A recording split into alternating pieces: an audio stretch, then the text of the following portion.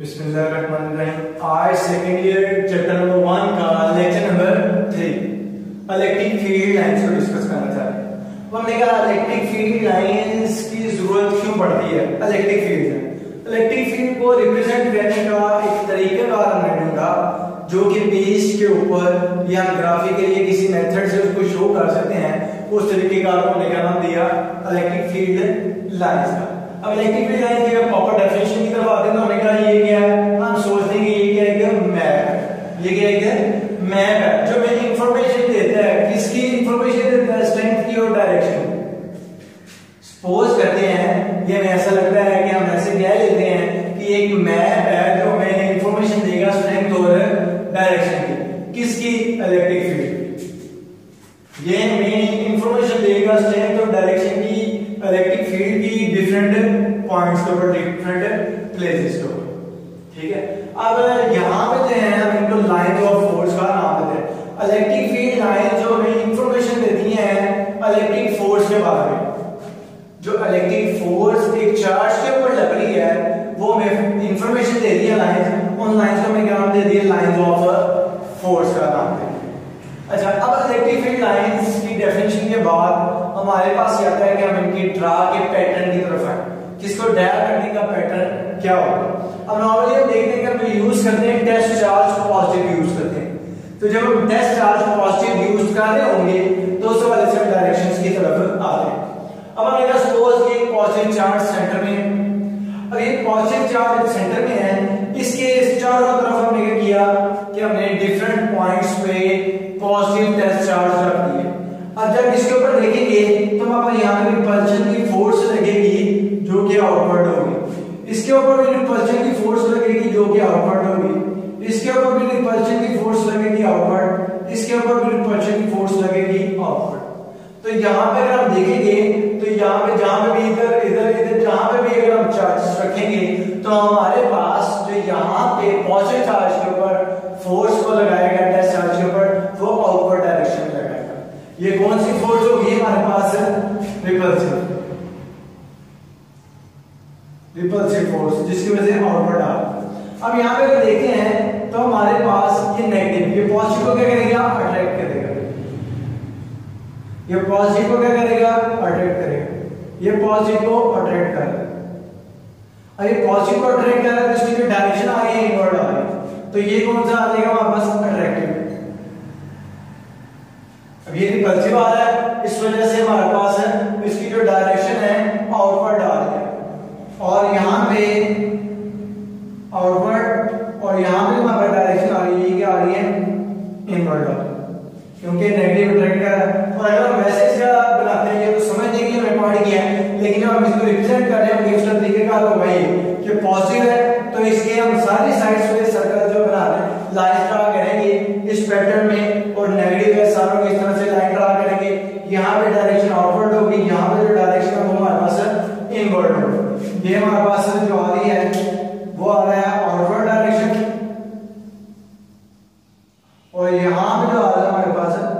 Inward direction अब एक और यहाँ पे जो कमी है डायरेक्शन डायग्राम के अंदर फिगर के अंदर, वो ये है कि ये टू डायमेंशनल पिक्चर लेकिन रियलिटी के अंदर ये थ्री डायमेंशनल कि सपोज़ ये चार्ट है, यहाँ से फोर्स लग रही है, यहाँ से लग रही है, ऊपर से और नीचे से। सिर्फ़ ऐसा नहीं है। सिर्फ़ ऐसा नहीं है।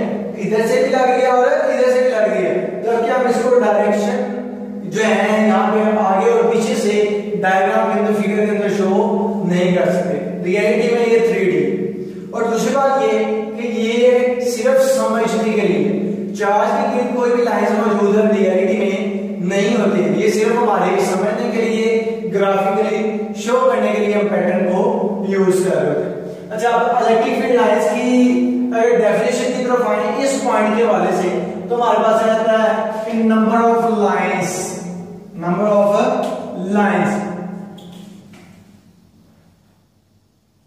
number of line जो यूनिट एरिया से पास आ रही है प्रोपोर्शनल होगी किसके मैग्नीट्यूड ऑफ़ इलेक्ट्रिक फ़ील्ड मतलब कि यूनिट एरिया से जितनी लाइंस पास करेंगी इलेक्ट्रिक फ़ील्ड उतनी ज़्यादा होगी. लाइंस ज़्यादा है फ़ील्ड ज़्यादा है. लाइंस कम है फ़ील्ड कम है. तो यहाँ पे हम देखते हैं तो जितना हम उसके करीब करीब लेंगे, जितना हम उसके करीब लेंगे तो वहाँ फ़ील्ड क्या होगी? ज़्यादा. अब यहाँ पे अगर हम आगे हैं तो यहाँ पे दो लाइन पास कर रही यहाँ पे तीन लाइन पास कर रही दूर जाते रहेंगे तो वहाँ फ़ील्ड क्या होती जाएगी? फ़ील्ड क्या होगी हमारे पास? वीक होगी और अगर करीब जाएँगे तो फ़ील्ड क्या होगी हमारे पास? स्ट्रॉन्ग होती जाएगी। तो ये हमारा पॉइंट आता है इसकी फ़ील्ड के लिहाज से, जो ये चीज़ें बता रहे स्ट्रेंथ कैसे पता लग रही है कि जहाँ पे लाइंस क्लोजर है तो फ़ील्ड स्ट्रॉन्ग है। जहाँ पे लाइंस दूर है फ़ील्ड वीक है। अब दूसरा जो पॉइंट आता है हमारा इसकी डायरेक्शन कैलकुलेट करना क्या क्या हम इसकी फ़ील्ड की स्ट्रेंथ भी कैलकुलेट कर रहे हैं और डायरेक्शन अगर हम सपोज़ इस पॉइंट पे डायरेक्शन मालूम करना चाहते हैं तो डायरेक्शन मालूम करने का तरीका क्या होता है? जहाँ पे हम टेंजेंट ड्रा करें। टेंजेंट का मतलब कर्व लाइन के ऊपर एक प्लेन सीधी लाइन में लाइन है। ठीक है? तो मेरी लाइन और क्योंकि इस तरफ़ गया तो ये हमारे पास टेंजेंट की डायरेक्शन है कि इस पॉइंट के ऊपर इसकी जो डायरेक्शन होगी वो ये होगी। इसी तरह से अगर हम इस पॉइंट पे करना चाहते हैं तो यहाँ पे हम ड्रा कर देंगे। तो यहाँ पे इसकी डायरेक्शन होगी वो, ये होगी। तो टेंजेंट ड्रा करेंगे, जो कि हमारे पास उस पॉइंट के ऊपर उसकी डायरेक्शन को बता सकता है। ये स्ट्रेंथ ये है, वो भी क्लियर और जो डायरेक्शन है, वो भी पॉइंट क्लियर अब यहाँ पे आता बस इसके अंदर जो हम यहाँ पे सेंटर पॉइंट पे आते हैं, ये जो सेंटर पॉइंट है, यहाँ पे अगर मिडल रीजन जो है। अब आइडेंटिकल है मतलब ये पॉजिटिव पॉजिटिव हो या नेगेटिव नेगेटिव हो इसके अंदर हमारे पास मिडल जून होगा मिडल रीजन होगा। वो क्या हमारा न्यूट्रल जून होगा। वो क्या होगा? न्यूट्रल जून होगा या फिर ज़ीरो फ़ील्ड स्पॉट होगा। मतलब यहाँ पे फ़ील्ड की वैल्यू नहीं होगी या ज़ीरो ठीक है? यहाँ पे हम किसी मटेरियल को या बॉडी को रख देते हैं, वहाँ पे उसके ऊपर फ़ील्ड का इफ़ेक्ट नहीं होगा। ठीक है? अब इसके बाद अगर नेक्स्ट आते हैं ऑपोजिट चार्जेस अगर ऑपोजिट चार्जेस हमने रखे हैं तो उसके अंदर हमारे पास जो पैटर्न होगा इलेक्ट्रिक फ़ील्ड लाइंस का क्या होगा? तो यहाँ पे होगा सेंटर पॉइंट पे उतनी ज़्यादा स्ट्रॉन्ग होगी और जितना दूर जाते हैं फ़ील्ड उतनी रैंडम होती जाएगी और वो स्ट्रॉन्गनेस जो है वो कम होती जाएगी। अब ये दूसरी फिगर आती है हमारे पास, कि अगर हमारा प्लेट है एक के ऊपर पॉजिटिव चार्ज है, एक के ऊपर नेगेटिव चार्ज तो हमारा जो फ़ील्ड का पैटर्न होगा वो कुछ इस तरह होगा और क्या होगा इसके अंदर क्या चीज़ है हमारे पास यहाँ पे ये है कि सेंटर जो पॉइंट है हमारे पास, यहाँ पे तकरीबन यूनिफॉर्म सेंटर पॉइंट पे क्या है? लाइन से यूनिफॉर्म स्ट्रेट है तकरीबन लेकिन जैसे जैसे हम सेंटर पॉइंट से दूर जाते रहेंगे तो हमारे पास जो फ़ील्ड है, वो नॉन यूनिफॉर्म होती रहेगी। सेंटर पे यूनिफॉर्म है सेम आ रही है वैल्यू लेकिन जब हम सेंटर से दूर जाते रहेंगे तो हमारा जो फ़ील्ड की वैल्यू है, वो क्या होती जाएगी? नॉन यूनिफॉर्म होती जाएगी, जो कि हमारे पास इरेगुलर जो लाइन स्ट्रेटनेस है ये को क्लियर कर अच्छा अब हमारे पास ओवरऑल जो ये सारे पॉइंट्स पढ़े कि अगर हमारे पास